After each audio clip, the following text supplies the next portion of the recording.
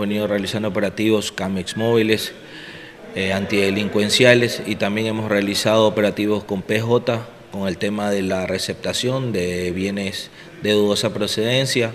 Hemos hecho el decomiso de varios teléfonos móviles. Eh, también se ha retirado a personas que obviamente están consumiendo en lugares públicos. Se les ha decomisado cuchillos, se les ha decomisado droga y este tipo de pipas también. Este fin de semana estuvimos por ende en Caña Quemada.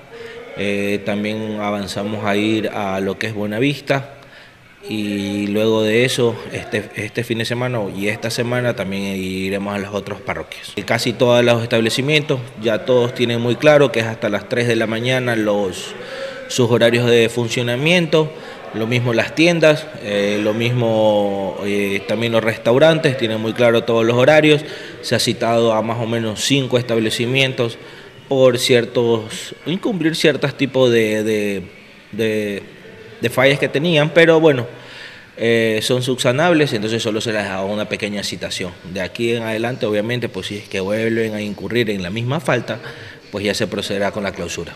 En este momento no hemos tenido clandestinos, sí tenemos algunos detectados, vamos a ir a esos lugares.